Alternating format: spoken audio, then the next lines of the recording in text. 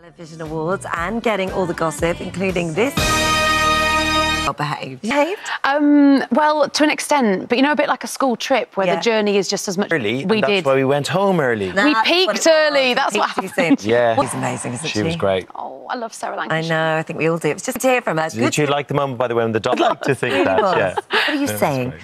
Um, Davina pitched it, didn't she? I think she, did went, pitch it. Let's do this. That's right. So she, um, it's called My Mum, Your Dad, and probably best let her explain how it all works. Okay.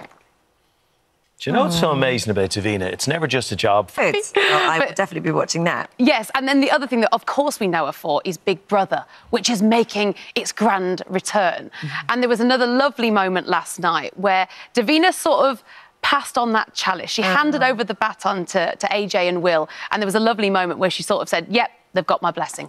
Shall we look? It was just Oh, good so on her. lovely. Yeah. Uh, something that somebody people won't have seen at home uh, because we were milling behind the scenes, chatting away to everyone. And someone I got chatting to was Jordan North, who floor next to Louis Theroux. Somehow the bags got mixed up. He picks up Louis Theroux's bag. He's got his iconic glasses in that bag. He goes, "Oh, these aren't mine."